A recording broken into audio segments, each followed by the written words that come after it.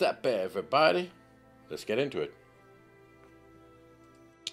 Right, so let's bring up a G9 character, and what we're going to do is we're going to export it. Right, so you say File, Export, and we're going to put it here. We're going to save it as an OBJ or FBX. It, it doesn't matter. OBJ, FBX. Let's just save it as an FBX and just call it uh, Ari. Alright? Ari. Right, so I'm just going to leave all of this as normal, and I'm going to say accept. Uh, and we're good to go, right? Ari's been exported, all right? Get. Once you've done that, then let's go to Unreal Engine.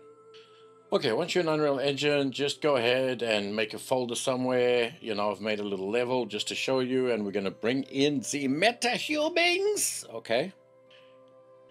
Right, and all I'm going to do here, love, is I'm going to take Ari, the FBX, I'm going to drag it into here and drop it over here, you get some import settings. All right, import animations. We don't need animations. Uh, scalable, import type, skeleton, none. I'm just going to leave it as none and just say import all. Okay. And let it import Ari. Once you're done, you're going to get a couple of things here. Don't worry about it. Just leave it, Ari. Leave it. You can just say no to that and bam we have our meta human love. That's great that's great. Now what do we need? What do we need to do here? First we need to load uh, plugins and let's just look for MetaHuman uh, you need to install them. We've gone over this a million times. Just click on the MetaHuman say yes yeah yes so we've got MetaHumans all done whatever and we're going to restart alright I'll come back when it's done. It's going to ask you to save a million things save selected and we'll get back when it's done. Alright once you're back loves everything's loaded. You can just close everything off. Load up your level again. Where is the bloody level? Okay once we're back here we're in our folder. You can just right click go to metahuman animator and go get a metahuman identity okay? Click on that click on that love. It's beautiful. And now you get this. Now we're gonna just call this uh uh we're gonna call it metahuman identity. I mean what we can do is just call it like metahuman identity and then call it Ari alright Ari. Open up Ari. Open it right up and then what you're going to do is you need to log into your MetaHuman. You need to you need to log into it. Okay. Once you've done that, just go to create from mesh and go pick your Ari, your FBX that you got. Alright? Just pick it. Just pick it, love. It's alright. It's all good. Chill out. The process is very similar like uh, like like the last version. So over here, it's always good to have good eyes. I set the field of view to about 20. It always gives me a better result, like a more accurate result. So set your view to 20. Then uh, I can promote the frame and it all works fine, right? All works fine. Front view, all good, whatever. You know, obey. It works. But let's do this properly. Let's get an accurate one. And so let's go find our model. Okay, this is our FBX that we imported. You can see the eyes, the eyes, that bloody eye cover.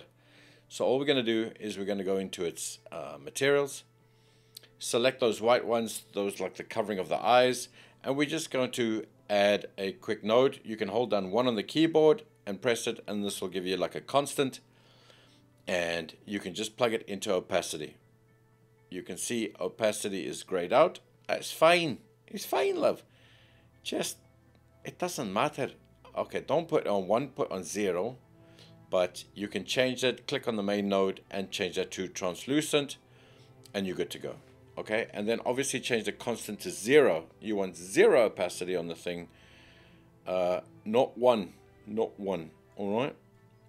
So you can see nothing's working here because I, input, uh, I, I changed it to 1. Shouldn't have. I am converting into a parameter, all this kind of... I don't need to, love giving it a name. Why? Why, love? Just change the opacity to zero, okay? And you're good to go. So there, I'm getting more confused than anything. My mind's getting baffled. and then just put on zero and you're good to go. Okay, and you're going to do the same with the other eye. Okay, so that one's working. Now you want to do the same with the other eye. Just hit one, hold down one, click down, bam, make a constant, plug it in into opacity, change the material, highlight it to translucent, and you're good to go. Okay. Now we got both eyes. Okay, look at it, it's beautiful. Um, then what we can do is we can go open up our MetaHuman identity again, and it's working better, right? So now we can promote the frame. Bam, frame one promoted. Oh, something's not looking great. Look, I'm just clicking away. Okay, now if you look down there to frame zero, frame one, frame three, you can see that it's not right. Okay, right here. Delete them. Just delete them. Every time you promote the frame, you making a new one. Start from scratch, love. There we go. Nothing there. Delete them. Promote the frame, and you'll get your frame working. Okay? So, now we can track the markers. Bam. Perfect. Now you can just go in sequence. MetaHuman ID. Uh, uh, Alright, love. Now, click on the mesh to MetaHuman. I'm going to make the whole MetaHuman. Go over a cup of tea, love. Okay? Once it's ready, it'll tell you, and you're fine. Pick a body for it I'm going to go ahead and just pick like this dude. And you are ready to go. Now the teeth I didn't bother with. There we go. Just click the body before you mesh to MetaHuman. And once that's done, it'll take a while. You can have a cup of tea. All right. Fit teeth. I'm not going to do that now. It's grayed out. You have to add the teeth. And I noticed it produced a perfect human.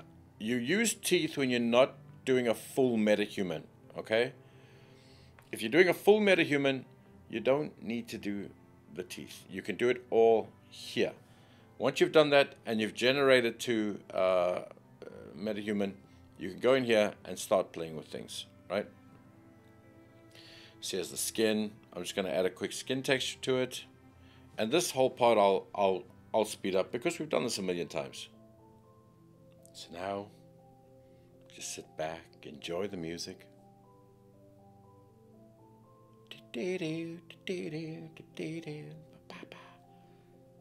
Beautiful. Anyway, make your metahuman, make him beautiful, make him the way you want. And that's it, we've got him. Now we're back into Unreal Engine, right? So now you're going to go into the Quixel Bridge, you're going to log into your Quixel Bridge, and you'll get your metahuman, uh, okay? Metahuman presets. Make sure you've logged in, or it's not going to work. And then just go to My MetaHumans, download the MetaHuman. I take the highest quality, you can take what you want. And just to show you here, this is the model from DAZ. This is its rendered.